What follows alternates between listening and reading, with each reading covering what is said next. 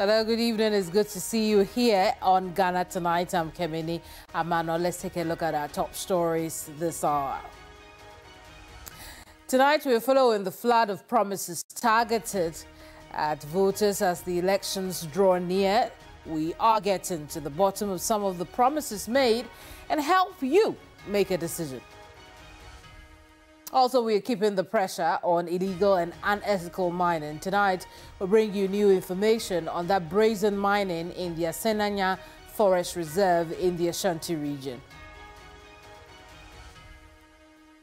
Check this 22 Ghanaians aim for the top job in Ghana.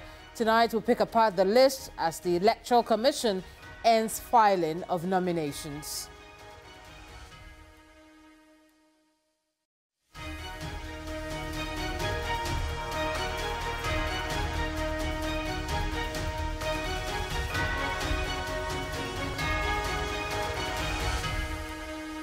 I've got to tell you the numbers in the presidential race. This election uh, looks very, or look very interesting.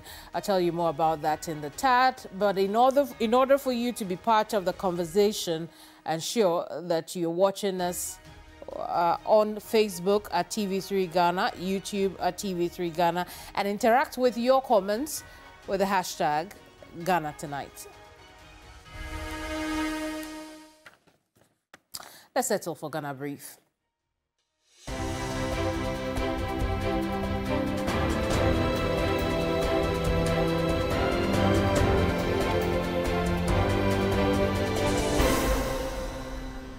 The Judicial Service says the parties involved in two cases pending at the court with regards to the anti LGBT bill have not completed the work they are supposed to undertake to enable the court hear the matter. This is the Judicial Service's rejoinder to a story published on August 15, 2024. In that publication, sponsor of the anti-LGBT bill, Sam George, stated that the Chief Justice was acting maliciously in that the Supreme Court deferred its ruling on the injunction applications. This, he argued, will delay passage of the bill into law. The Judicial Service, in its rejoinder, offers the following explanation. For the Richard Sky case, the Judicial Service explains that at the time the court went on recess, neither Parliament nor the Attorney General had filed a defense to the plaintiff's action. This, the service says, means the court cannot hear the case. For the Amanda Odoi case, the service says the Attorney General has not filed its statement of defense. The parties are also to file a joint or individual memorandum of issues to enable the Supreme Court hear the case. The paramount chief of the Nandom traditional area, now Professor Edmund Delle, says he has no faith in the government's five member interministerial committee set up to look into the illegal mining. According to the former chairman of the Convention People's Party CPP, the committee is partisan and therefore will not come out with any good recommendation. He has therefore joined the call for a total ban on small scale mining. I personally don't think they can do, even if they have the best suggestions, but it's also partisan. I wanted a non-partisan committee. For instance, NDC should have had it. There are people there. Get other people so that when we come out with a decision, which is non-partisan, I always believe that when we have trouble like war, there is no NDC, there is no NPP. It's only Ghana. Politicians from both the ruling New Patriotic Party and the National Democratic Congress are involved in Galamsey, and that is why it is difficult to fight the menace head on. These are the words of the Member of Parliament for Assin Central, Kennedy Agyapong, who believes until politicians sacrifice and stop, water bodies will continue to be polluted and the environment destroyed. The politicians are involved. I'm bold to tell you because nobody can point finger at me. Nanaku has done a lot to stop this, but I'm afraid both sides, NDC, NPP, from constituency level to the top. Member of Parliament for Ningo Prampram, Sam Nartey George, says any further delays by President Akufo-Addo in assenting to the anti-LGBTQ bill would be perceived as an indication that the president is in favor of homosexuality. Sam George, one of the main sponsors of the bill, made these remarks during a press conference calling on the president to take decisive action. If the two leading flag bearers his Excellency John Dramani Mahama and His Excellency Mahmoud Bawumia have stated emphatically that they will sign the bill. If we are seeing a delay in the courts, it will suggest that President Akufo-Addo supports homosexuality, is in favor of homosexuality, and that's why he's running away from signing the bill. Chairperson of the National Commission for Civic Education, Kathleen Addy, is urging Ghanaians to vote against politicians who use intemperate language in the lead up to the 2024 elections. In a yet to be aired interview on hot issues, the NCCE board stressed that Ghanaians have a role to play in churning out responsible leaders. We must begin to punish wrong behavior through how we reward politicians because at the end of the day, politicians are not inherently bad people or some evil people. Mm-hmm. They're us. When people are misbehaving, then we are giving them funds, so to speak, right? We are hailing them. Mm-hmm. We are giving them front row seats. We are repeating their negative energy. We are giving them platforms to do even more. What will be the motivation for them to stop?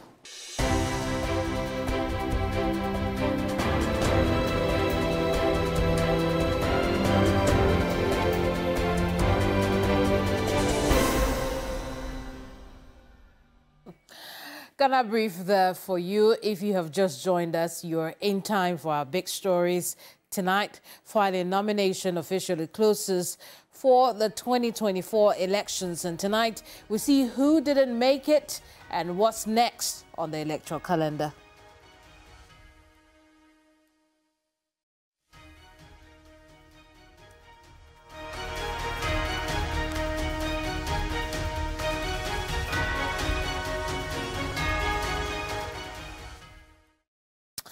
Tonight we're learning nearly two dozen men and women vie for the top job in Ghana. The list has shot 11 other people who could not file their nominations before the Electoral Commission closed nominations for both the presidential and parliamentary uh, candidates.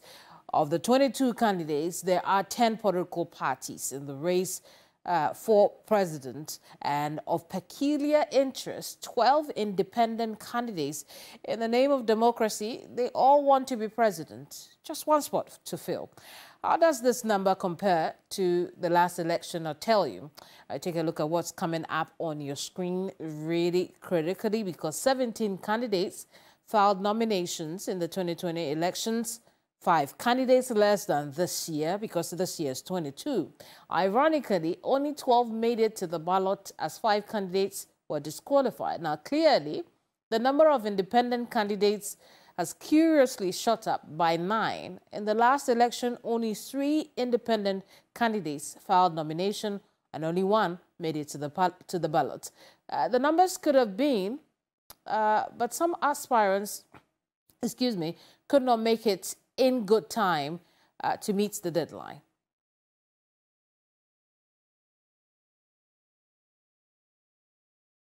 Well, uh, in a bit, we'll talk to one of the political parties who could not make, you know, the the deadline for the filing of nomination. In the meantime, I want to take you through the list of the people who were able to, the 22 uh, you know, candidates who were able to file nominations. Let's start off with uh, the independent candidates. I told you earlier, in this election, there are 12 of them, much more, or many more, excuse me, than uh, political parties.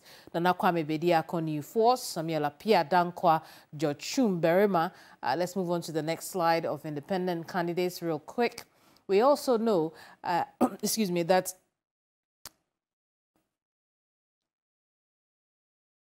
We also know Kofi Koranteng, Alan Kyerematen, uh, Janet Asana Nabla, who is who's not an independent candidate uh, necessarily because she left the PNC to form the PNP.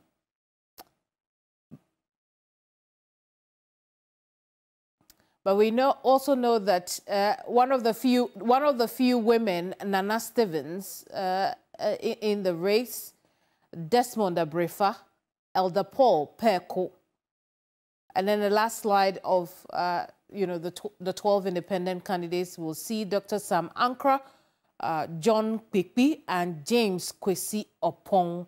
Those are the independent candidates in the race. Shall we see the political parties in the race?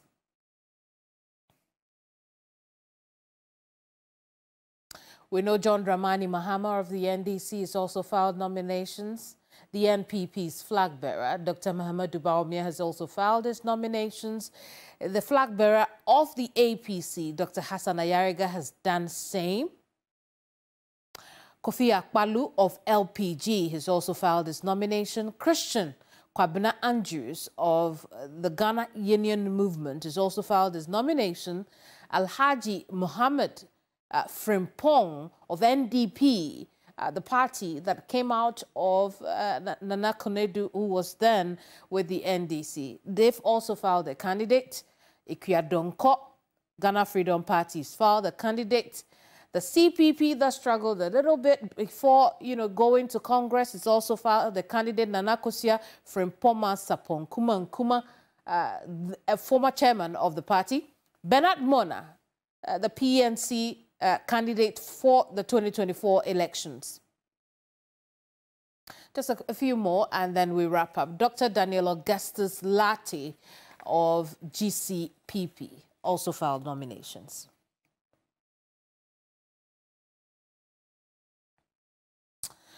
But as we said earlier, I'm going to bring in the national chair of the Progressive People's Party, PPP, Nana Ofori Owusu, on why their names do not appear on our, list of political parties that have managed to file nominations as it was closed today. Uh, Nana, good evening to you. Thank you so much for joining us. Is there a reason you're not on the list? Uh, I am shocked to hear this in the news because we have found filed a candidature in the person of Kofi Asamoah We were slated to present around 3 o'clock. We were on the premises of the Electoral Commission.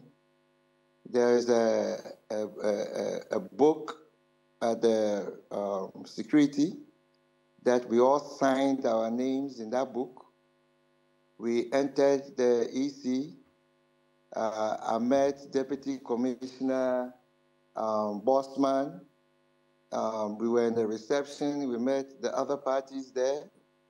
We waited from 3 o'clock to about 5.30 in the reception. And we entered to give our documents uh, nicely binded. We've been doing this for some time. I personally have been director of operations from the PPP 2012, 2016. I've stood as parliamentary candidate. I've been director of operations. I've been chairman. I understand the rudiments of, of filing. Mm. If you recall, 2016, when the EC wronged us and we went to court, they reinstated us. I see. So there is not, there's absolutely nothing Very well. that we did and, and the reportage, I'm not sure it's an easy reportage because oh, from what we uh, were well, told, well no, no, no, let's let's go back to you know events that took place when the PPP attempted to file its its nominations.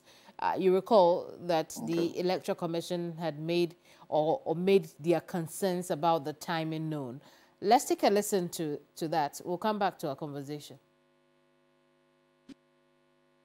We are not expected to receive nominations after five. The premises of the EC is not where we complete nomination forms.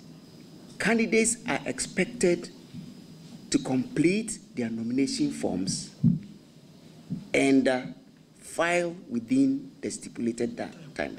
We are not going to accept it, we will receive it, but we are not going to accept the forms. I am acting on behalf of the chairperson who is the returning officer.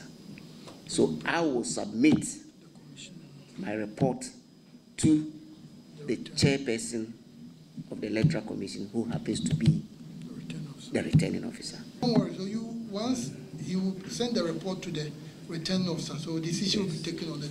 So you submit it officially. Then you will receive it. Yeah. Nana, so what we hear is that you know they have received it, but a decision has not been taken as to whether or not it's been accepted. As we speak at the moment, have you heard anything from the electoral commission that the forms uh, that you uh, submitted uh, have been accepted? Well, we, we have we are looking forward to electoral commission reviewing the documents as they review all other documents, bringing if there are any errors to our attention to correct as they have offered all the other candidates. You should have played what we said back to him when he made these comments. Oh. First of all, he said that they don't accept uh, uh, documents after 5:30. Mm -hmm. Is it our problem that we were sitting in the conference room and you were talking to other candidates when it was five o'clock? Did they bring everybody into the room at five o'clock to say, hand in your documents? We were in the premises, signed in their own books at three o'clock. If he says we were working on documents or fixing documents, did they see us writing on any documents? But, but Nana, if you had been were, there were, from 3 o'clock, uh, what stopped you from filing your nominations? No, no, no. What I'm saying, there were people before us.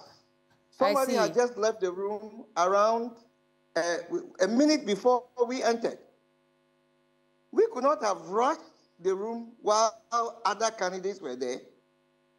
We entered immediately after the, the, the person uh, before us had left. Then we entered immediately. Meanwhile, prior to that time, we were sitting in the conference room. And then they came to lock the door. The commissioner came and gave directives to lock the door while we were in the premises. Our vehicles were in the premises. The main door that had been locked, all the people that came after, I. I, I imagine, were behind the door. We were all inside.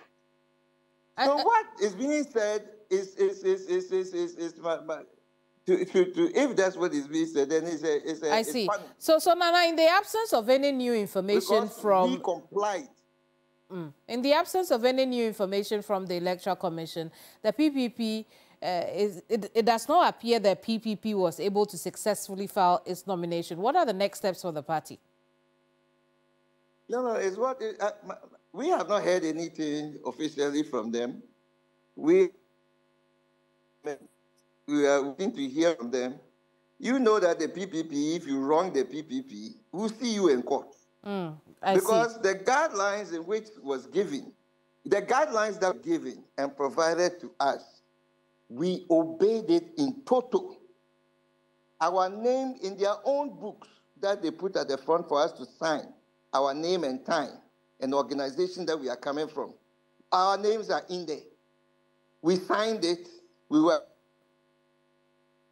we have our documentations with us, nicely, neatly binded, mm. four copies. We have been doing this as a political party from 2012 to date. There is nothing that is new to us in that process. And we abided by every single regulation. The 530 that he speaks of, I Very am well. surprised because people have lined up and you are calling them one by one. And if you are calling them one by one, and our time is not up, and you have not called us to enter, and the time you call us to enter is, is, is 5.30, but we were at the premises at 3. Does it stand to reason that you can say that you will not accept our documents? Mm, I this, see. This, this, this, is not possible. I am saying that these things that they are saying, sure upon sober reflection, we will, we will hear something different. Mm. So we uh, we'll, we'll, keep our fingers crossed for that. But you mentioned that Kofi Asamoah-Siaw, uh, one time General Secretary of your party, is uh, the candidates that the PPP chose. Uh, we know that for a long time the PPP has gone with a female candidate. people were expecting the same. Talk to us about where Bridget places in your party today. Bridget is the member of National Committee. She's still a strong member of the National Committee of the Progressive People's Party. Kofi Asamoah was the running mate in 2020. Mm-hmm. And, and decisions, and the two of them, decisions have been taken, and this time it is Kofi Asamoah that is going mm. for 2024. Looks like he's it's been given an upgrade. Of, no, no, no. But Kofi Asamoah is a brilliant chap. He has been part of the people who have been writing our policy documents. He's part of the people that have led this party, great organizer. He has competed as a member of parliament for Akim Oda constituency, mm. 2012, 2016. He has a strong pedigree in the political space. Very well, Nana. And everyone knows that. Nana, we can only wish uh, the PPP well. Hopefully, uh, the Electoral Commission speaks to this matter and, and that so soon. Thank you so much. Nana Ofori Owusu is chairman of the PPP. Also joining the conversation is the executive director of Global Info Analytics, Musa Dankwa. I want to have a conversation about the numbers we're seeing, particularly, you know, zooming in on the number of independent candidates who have filed their nominations. Uh, Musa, good evening to you. Thank you so much for staying up for us. But are you surprised by the number of independent candidates who have been able to file nominations or shown interest in, in the presidency? Um, Keminni, thank you very much for having me. Um, I'm not surprised because if you look at um, what happened in the last previous elections, I think there were three independent candidates. And this time around, we have a lot of them. I think they realize that running as independent candidate is the easiest vehicle to get into the ballot uh, paper because you don't have to go through a whole lot of uh, loops with regard to party machinery to be able to get that. So I wasn't quite surprised that I saw uh, that number. Mm. In words, almost over a year ago, we've seen couple being there for a long time, but the level at which uh, they have filed probably is surprising. They were quite uh, confident they would get into the ballots. Mm. I see, but do the numbers you see support, you know, the probability of the country, you know, having an independent candidate for president? That is a far fetch at the moment. Um, it's still NDC and NPP uh, in the top two, but we're not going to see the same level of performance among the independent parties or smaller parties compared to the previous elections. Because we have seen a bit of uh, high numbers being recorded by two leading candidates uh, among the lot, which is Alan Kyerematen and Nana Bediako. For this reason, I think they will do far better than they have done in the past. Mm, I see. So, I mean, in, in other words, another way of looking at it is for democracy, this is good. But in actual sense, these 12 independent candidates who are racing for uh, presidency are, you know, on a fruitless venture, so to speak. Some of them, I think they're doing it just for their CVs, uh, just to say that they're being a, a candidate in Ghana's election. Uh, they know they will not get so much, but maybe they want to be known, uh, maybe for the next chapter of their lives. Um, they want to come back maybe 2028, 2022. So the, the, the process starts now. So some of them, I think that's the reason why they are, they are contesting. The flip side of this is that we have more political parties who have filed nominations this year uh, compared to, well, you know, slightly higher than that of, uh, uh you know, the elections of the last four years. Um, these political parties, what do the numbers say about their chances? Um, do the numbers support the existence? If you look at the numbers we have seen so far, the independent party, uh, candidates are doing better than the parties, except NPP and NDC. So this time around, we're going to see the independent candidates doing a lot more better than the parties that have been well established. And that, I think, will be manifested in the outcome of the election. Really? You, you think so? That some of the independent candidates could be doing better than the established political parties? Yeah, I mean, that's what the facts uh, on the ground suggest. I mean, if you look at Alan Kyerematen, Nana Kwame they are running as independent candidates. And between two of them, they are doing a lot more than the, all the parties put together. So we're not expecting to see anything uh, different from what we have seen in the polling numbers.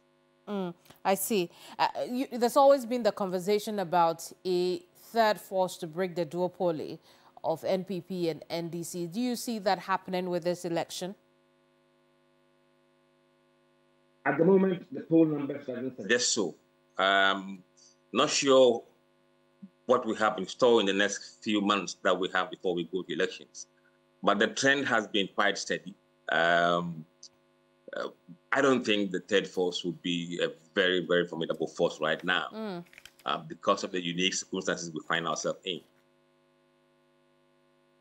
Uh, very well. Uh, thank you so much, Musa Wudiva here. I appreciate you talking to us. Musa Dankwa is Executive Director of Global Info Analytics. But what's next after this? The Deputy Commissioner at the Electoral Commission in charge of corporate services, Dr. Eric Bossman Asare, spoke to our Corsby Annan. Next week, we are going to come up with those who have qualified and those who didn't meet the requirements after that, then the team in charge will work on balloting for positions. And once we do the balloting, it will replicate at the constituency level. So assuming, uh, let's say, uh, one of the parties will pick uh, position one, automatically, where you, if you are contesting the parliamentary in that particular constituency too, you become one. So all those processes will follow. Then once we also have a final register, we print it. Then we have the notice of poll which will, be, which will indicate the people who are contesting the presidential election as well as the parliamentary elections in the various constituencies. So, eh, in terms of the nomination, everything is on course. But we know who the candidates are, at least those who have filed their nominations and interest in the presidential race. But who's promising what? And who should you believe? We've got you covered tonight.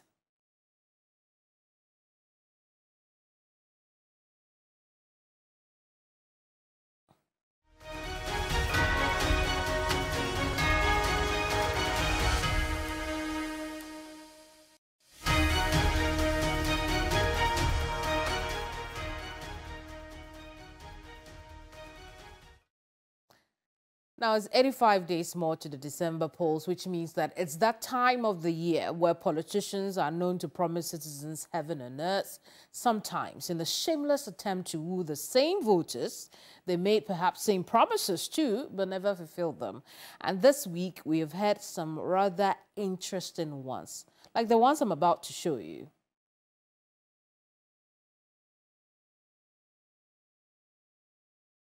This one. If you, Nananom, desire for your children to travel to America to work and send money back home, or if you are a young person eager to explore opportunities abroad, I promise to support you when I become MP. And that's Pius Enam Hadzide, uh, NPP parliamentary candidate for Asuogyaman. And then there's another one I want to show you. Also, one of those bizarre promises that we have heard. Uh, the season of the elections. Take a look. I am the chairman of the Ghana Gas Company. If you don't vote for the NPP, we will not construct the AstroTurf for you. That's coming from uh, Kennedy Agyapong. Uh, he also says that you always receive the development you ask for, yet you go to the ballot and vote for the NDC. If you don't vote for the NPP, we won't bring development here. Why is this eerily familiar because the president has also said this before. Something very similar along those lines. But what you just saw is a quote from Kennedy Agyapong as he was campaigning uh, uh, somewhere in this country. I am almost certain uh, that you have also heard a few more wherever you are watching us from. But let's get into it and better understand campaign messaging. I'm going to bring in now uh, Professor Kobi Mensah, who's the political marketing strategist. Uh, let's have a conversation as to what you are hearing today, how to break down what you're hearing and understand the decisions that you make thereafter. Uh, Prof, good evening to you. Many thanks for joining us. The political parties obviously are in full swing campaign mood. And one of the key things that drives uh, this period is the message you know, they deliver. First off, what makes for an effective campaign message? Uh, Keminni, thank you very much. Uh, when it comes to campaign messages, we craft them based on a number of you know uh, factors. One, uh, and the most essential, you're looking at the needs, and I should qualify that the legitimate needs of the people. Now, when you consider the legitimate needs of the people, you also craft it in the ideological, you know, leanings of the party. Uh, the reason why I'm actually stressing on that is that obviously needs can be satisfied by different ways. So you realize that political parties will do research, they will gauge the needs of the people. But when it comes to preferring the solutions, they will come from two different angles or three different angles, depending on the number of political parties and how they want to solve. So you realize that when we talk about free SHS, whereas Nana Addo was actually talking about, you know, getting the people into the schools immediately, the NDC were actually hammering on progressive free, where they were actually explaining that you need a certain infrastructure base before you actually push the people into it. And so your key, two key factors that you want to consider in crafting a political message is about the legitimate needs of the people and then supported or underpinned by the ideological positions of the political party in, a, in order to advance what you think will be, you know, uh, the most persuasive message Prof, uh, like to the people that you actually targeting. Indeed. So Prof. that's what you can actually consider as a campaign message. Very well. I'd like to believe that you had some of the, you know, the promises that we have heard this week, uh, including the promise to take children of constituents abroad, uh, promises to facilitate exits, as, as we recently heard, among others. Would you say our politicians are doing well enough so far? I think that it's it's really strange. I mean, and it's not only this election. I mean, there had been quite a number of, you know, uh, campaign message position that people sort of have been taken aback about. All right. Obviously, uh, people talk about sloganeering. Uh, it's not a bad thing. It's about how would people really understand your campaign message and retain it. But then it becomes bad when it becomes just a slogan, but not fulfillment. And so it becomes, you know, what people call it as sloganeering. And now if you look at this particular election, it is no longer but bizarre, you know, kind of proposition of what people actually, you know, offer. In fact, to extent, most, some of these, you know, offerings that the political some politicians actually offer. Not even think about the illegality of it. To say, oh, I took some people to Australia, I can take some people, you know, the same way I can take people to to uh, what you call the US. And then you come and say, oh, I can get you exit, you know, that kind of thing. It's it's almost as if people think that they can promise, you know, almost anything in order that they can actually get elected, including illegal, you know, offerings. And I think it is very, very strange. You know, elsewhere, I think the political party itself would strike, you know, the rod. Uh, they could they could actually discipline such a, candidate. You know, uh, they could rebuke the candidate, so to speak. But here's the case: candidates actually promising almost illegality, and they are going scot free. A friend of mine actually asked me, where some of these human resource of this political party were actually gotten from. It's so strange that they could actually promise illegality and then nothing happens. Nobody actually rebukes them, etc. Well, so yeah, it's very strange in this particular election. Well, that's an of... interesting question your friend asks. But uh, what could be the reason for some of these bizarre and, as you have identified, uh, promises based on illegality? I think that uh, uh, some people are actually blaming the voters, saying that well, it's because that is what you know they want to hear. But I take a different view. I think it's a desperation of the political, you know, uh, elite. I mean, you know, leadership is a call to action, a call to legitimize, you know, uh, uh, a certain statuses, and then uh, you, you want to actually demonstrate your ability to actually get the national king to your people. All right. So leaders must know better, even if the followers do not know. And that's why we are giving a certain privileges. I tell people that look, it behoves on leaders to behave, not the followers to behave. All right. Otherwise, we'll not give you privileges. So the followers know that they have limitations. As a result, they've given you the mandate to lead them, and they've given you privileges as a result of that, so that you could get the most, or you can be in the most comfortable position to help them reach their goals, reach their development goals. All right. And so you have the mandate and you have the core responsibility to behave, even if the followers are not behaving. That's why they give you the, the, the, the, the mandate. And so for, for, uh, for leaders to actually give some, some kind of bizarre promises, mm. hoping that they could use that to lure the voters, I think that is very, very you know, distasteful. I think that it's, it's very uncalled for, all right? Mm, and it well. smacks of a, a certain desperation to get power at any means. Mm. And I'm very happy that the voters are seeing through that. And if you, you know, look at the case in point, which I just you know, highlighted, the constituents have been interviewed and people saying, we know that he's lying. We know that he's saying anything for us to. And that's a big, big you know, applause to. Very well. And, and, and, you know, Prof, there are those who have equated the quality of the message to the quality of the politician.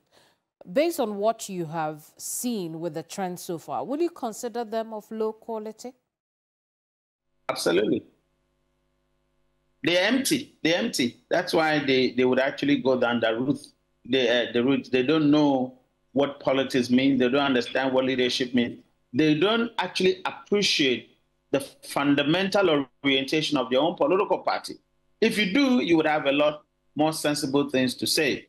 I mean, there are quite a lot of you know, com- uh, compelling or pertinent issues that you could talk about, all right? But because they're empty, they cannot, you know, uh, uh, what do you call it? They cannot appreciate and they cannot understand what it is that the voters will look up to to vote for them. You know, sometimes we equate, you know, uh, what do you call oh, up to leadership, you know, and so by the fact that you see somebody is a grown up, the person is actually entered into a certain status, we think that, you know, by by virtue of that, they should be sensible. Uh, sorry to use that word, or by virtue of that, they should they should be able to appreciate what is right, what is legitimate, etc. No, there are quite a lot of people who have just grown without appreciating legitimacy, without appreciating what is right, etc. And so such people, you would actually give them that benefit of the doubt, you know, at your own peril. You have to query them. And once you start querying them, you realize that no, they're not up to that level that you're anticipating that they should be. And so, you know, the political parties, I always say that they are the channels through which we recruit leadership for this country. And that's why, for me, I believe that the political parties must have institutions that must train their workforce, all right? Because that's the only way that we recruit leadership for the country, I should say, all right? If you go to corporate, you know, you go through managerial, you know, level, maybe you get through a line manager, etc. You become a corporate leader, right? Mm-hmm. Political party is the same. When you get to the, the base of it, maybe you are a, a foot soldier, you you raise, I mean, you rise through the ranks. You become a constituency somebody, constituency chairman, etc. Eventually, maybe you become a minister. Sometimes you contest and you win elections. You become an MP. You rise mm. just like Nana Addo did, becomes a, a flag bearer, uh, just like Mama also did, becomes well. a presidential candidate. It is the system that we recruit, all right, leaders into, you know, uh, I mean, we recruit leaders for the country, mm. which means that political parties have the responsibility to orientate their people, to let their people understand what is leadership, what is the relationship between their leadership, their kind of leadership, and the party ideology and the needs of the people. If you do not take that, that particular steps, deliberate steps to equip, empower, to train your workforce, which is you know, from the rank and file of the political party, that's the kind of people you get. Mm. I see. Prof, I, I was going to, you know, ask you how the citizenry could differentiate between complete rubbish of a promise and you know credible promise. Unfortunately i'm out of time and so i'm going to have to say thank you to you. I appreciate you talking to us uh, tonight. But also tonight we are keeping the pressure on illegal and unethical mining despite government's latest intervention. I'll tell you more but you only know if you stay with us. Don't go away. Tonight, the fight against Galamsey may be getting somewhere after all. President Akufo-Addo has put together an ad hoc committee, ministerial committee, to engage stakeholders on illegal mining. Here are the members of this, you know, very important committee. We know there are the National Security Minister, Albert Kan-Dapaah, as chairman of this committee. Other members include Samuel Abu Jinapor, the sector minister, Minister for Lands and Natural Resources, Dominic Nitiwul, uh, Minister for Defense. You recall Operation Vanguard. The Defense Ministry played a very critical role in that. We know what happened. Minister for Employment and Labor Relations and Pensions, Ignatius Baffour And then the last member of the team, Minister for Information, Fatimatu Abubakar. Now, this committee of powerful names is seven years, nine months, and 13 days too late. Comes at a time the president who had put his job on the line and promised to do the right thing but didn't, best case scenario, stumbled in tackling unethical and illegal mining. As a result, the miners have got more brazen. Tonight, we are learning that despite the renewed pressure and calls for a ban on all forms of small-scale mining activities, to protect our water sources. A new mining site has emerged where miners are busily sending the forest to an early death and turning the earth inside out. I'm talking about the Asenanyo Forest Reserve within the Nkawie Forest District in the Ashanti region. Take a look at the very disturbing uh, pictures on your screens at the moment. The green is going away. We're seeing the brown earth. They're turning it over just so they can get the gold and the money they need and ruining our water bodies and then the rest of us get sick, including them.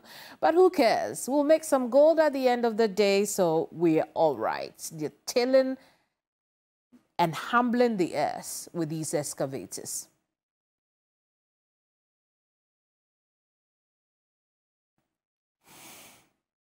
Well, in a tad, I'm going to speak to Abraham Essel, who is the Nkawie Forestry District Service Division Manager. Um, well, my understanding is he's ready at the moment. Thank you so much, Abraham. Good evening to you. Uh, let's talk about the situation that you identified this morning. What do you know, or what have you gathered about the owner of that I, I I'm not even sure if I should call it a concession, but the owner of or the, the person behind that act, do, do we know who this is, this person is at the moment? Good evening and thank you for being on the program. Um, as we speak, uh, no one has shown up that uh, he or she is behind the operations ongoing in that section of the forest reserve. And to the best of my we don't also have any documentation to that effect. And so for now, um, investigations are ongoing to, to, try to unravel uh, links behind uh, that operation. Mm. So, Abraham, the people just got up and then entered the forest, your, your forest. Exactly so. Exactly so. Exactly so. We really? So the excavators? No, you can't tell me that. The excavators, they came through the main road entered the forest where you and your men are supposed to be, you know, guarding, so to speak, and started tilling the land. Look at the vast land they have tilled over a five-day period. How did that happen?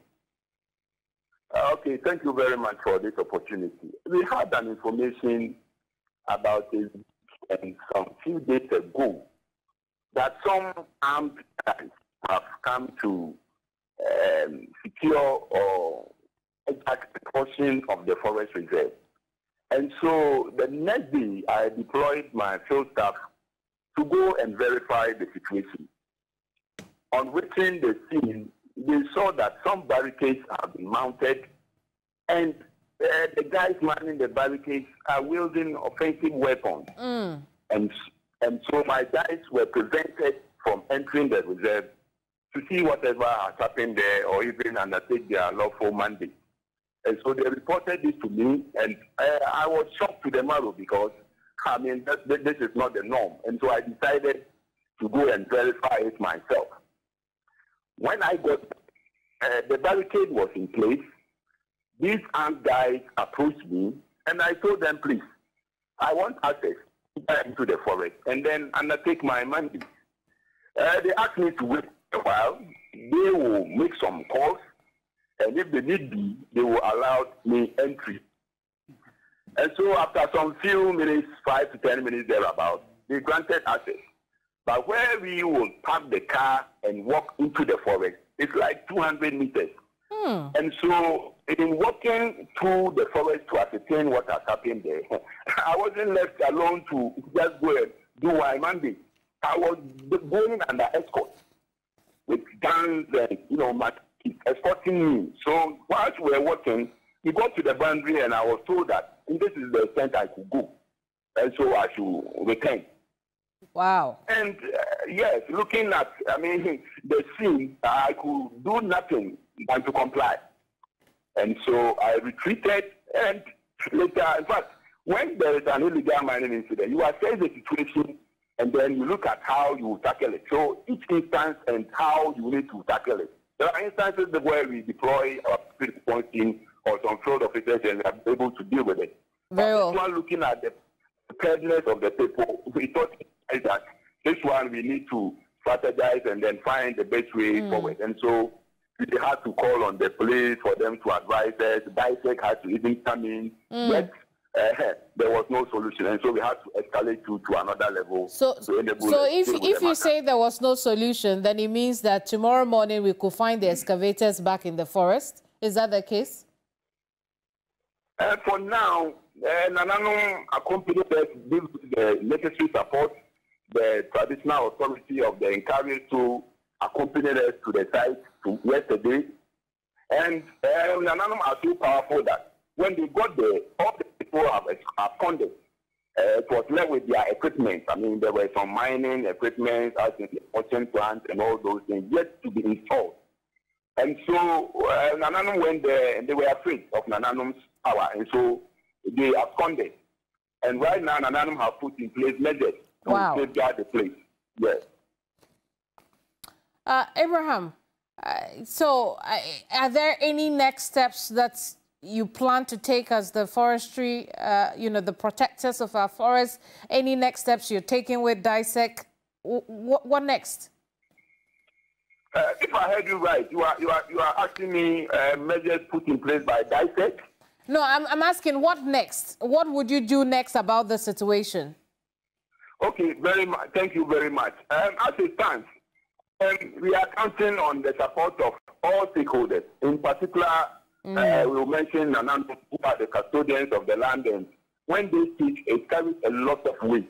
Very and well. so right now, the overlord of the Encarrier tool has uh, decreed that countries within those enclaves should ensure should ensure that the forest over there is safeguarded. They should they should put and co- co- co- coordinate with forestry so that we'll be able to secure.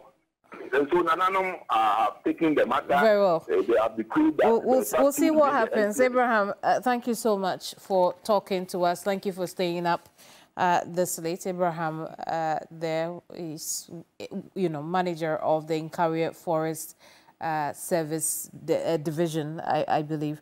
But I want to come to, into the studio. Daryl Bosu is Deputy National Director of A Rocha, Ghana. And uh, we, we're going to talk about this really disturbing situation. You, you saw the pictures, you heard my conversation. I want to pick your initial thoughts on that. So, good evening, and um, I think I'm very happy to be here.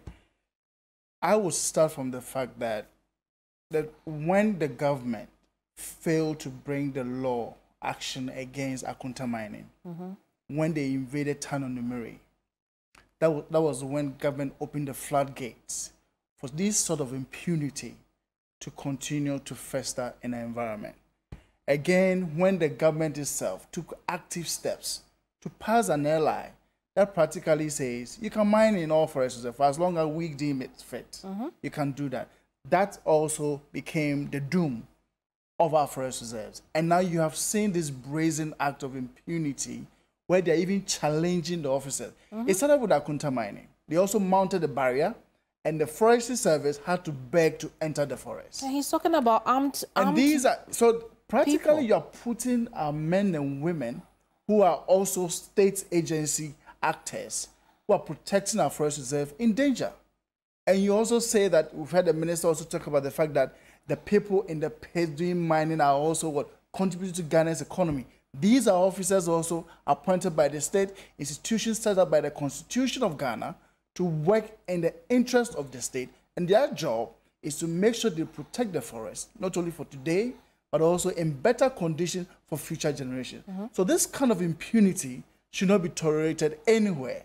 And it's sad to see that this issue keeps happening day in and day out. And this is not the only forest reserve. Mm-hmm. There are several forest reserves that are also under siege. Mm. And I guess you have seen the statement from the Ghana Institute of Foresters talking about how their lives are in danger as a result of this impunity that mm. seems to be taking over the whole country. Mm. Today we have uh, the president putting together this ad hoc ministerial committee. As I indicated, you know, it's nine months, uh, it's seven years, nine months and 13 days late. But, you know, in the spirit of uh, the zeitgeist, or am I saying this right? You know, in the spirit of the moment, what are your impressions about this? I totally agree with you. This is too late. This is not the time to be talking. It's also a reflection that this government has not paid attention to all that is happening and they've never thought of really resolving this problem. If this is just about talking, that is not what we are demanding. We are asking for a state of emergency and all forms of mining, be it legal or illegal, around rivers and forest reserves to be halted and ceased. Equipment being used ceased. And this is what we are asking. If this is just another talk time they are seeking to ask, mm-hmm. then we are not going to give them that because they, they only have up to the end of September. And that is where citizens are going to rise up and show them that you have taken us for granted for too long. Mm. And I think that where we are now, it is either we solve the problem now or we forget about it. Indeed. And so for us, we've heard of this committee. We are still not we are not amused by it because we have also seen other statements mm-hmm. and positions being put out there by the Minister for Lands and also the deputy. Indeed. And some of it some of them are very worrying. I mean, I don't recall any of the key messages coming from either organized labor or the media coalition with all the other NGOs talking about and banning small scale mining. Nobody has said that. We have said emphatically that if you are mining in a forest reserve or in a river, you should cease and that should be halted. Mm-hmm. Whether it is legal or illegal, you yeah. have to stop it. Indeed. So I actually think that it's just a red herring they're throwing out there to confuse the debate and also the demands that civil society is asking. Will this stop you? Will this make you, um, you know, tamper a bit? No, as far as we are concerned, uh, organized labor and all of us, we are very resolute, and that is how come we, I, we we realize that this is the right moment to really push this case, and so we are going to stay committed to the cause, and we want to see government show concern for the plight of Ghanaians. We see this as a crisis situation, and it is sad to see they see another opportunity to just talk and talk. We are not going to tolerate that. Indeed. Uh, Daryl, thank you so much for it's talking been a pleasure. to us. Thank you. Daryl thank Bosu, so indeed. Daryl Bosu is Deputy National Director of A Rocha Ghana, and we've been talking about the, you know, the the death of our forests, which is also the death of us as a result of uh, illegal and unethical mining. We'll keep the we'll keep the pressure on here at TV3. But remember that on Sunday you can join me in my conversation as we pick this up again with the, uh, you know, the chairperson of the National Commission on Civic Education. We had a great conversation on this. Hopefully, it's a starting point for you to know how you're playing a role in this. But tomorrow at 7 a.m., join Alfred and his panelists as they discuss this issue and many others. This is your Election Command Center. This is also Ghana Tonight. And uh, I'm going to have to say good night at this point. I'm out of time. But as always, a pleasure coming your, coming your way. Have a great weekend.